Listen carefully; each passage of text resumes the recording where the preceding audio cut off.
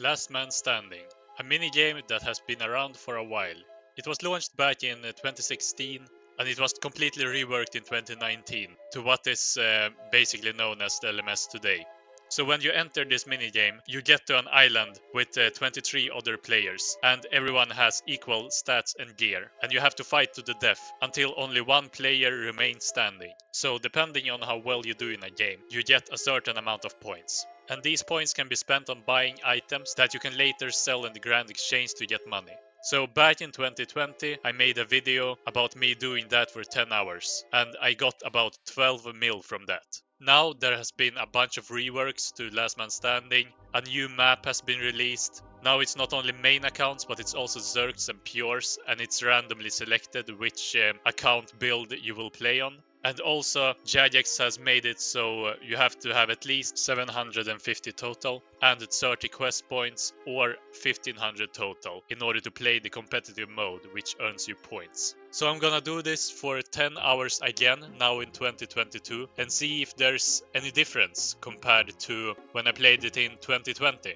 So let's see how this goes. So one thing I instantly noticed uh, when I started playing is that the bots are still there. Even with uh, the new rule set, uh, it seems like they have managed to get around this. And these are not your regular Green Dragon bots. These are freaking Terminators. They are extremely annoying to fight. You have to one-tick every attack in order uh, to hit them off prayer. They also do perfect DDing. They always attack you with the thing that you don't pray. For me at least, I find them really annoying and difficult to fight. But the bot situation I think wasn't as bad as it has been before, but as I said the bots are much much stronger nowadays. So basically the best way I found to kill these bots is uh, to freeze them and stand a little bit far away. You pray range, so they will stay in their mage gear. Then you equip with your mage tank and you wield the staff right before attacks and that will make them pray melee. And then you one tick your bolt.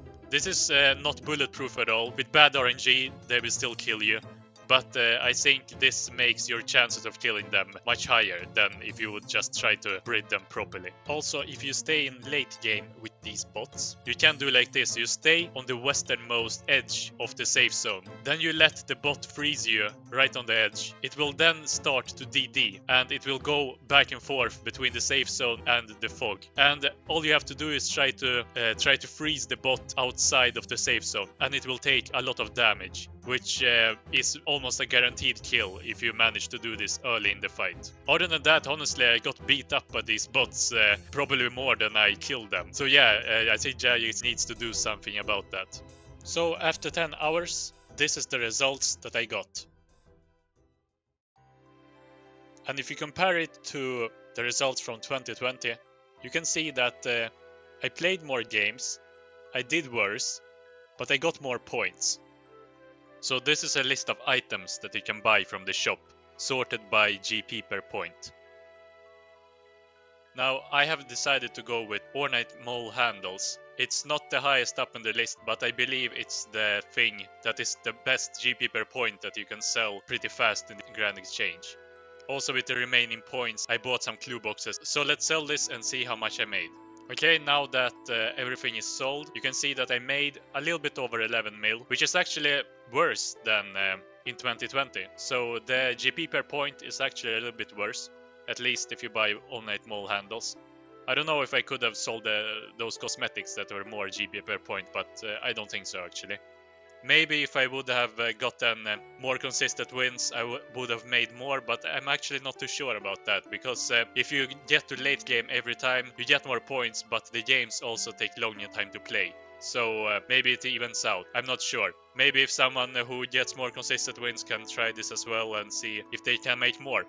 So uh, would I recommend this as a moneymaker? Absolutely not. There are far less intensive and more efficient ways to make money. But I think for me at least, uh, this is a good way of uh, warming up my clicks before going into the wilderness.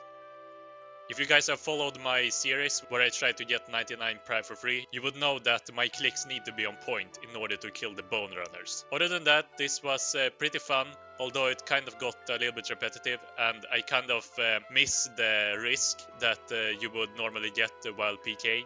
So yeah, you guys can try this out as well and see if you can make more. I hope you guys enjoyed, subscribe if you want to, and have a great day.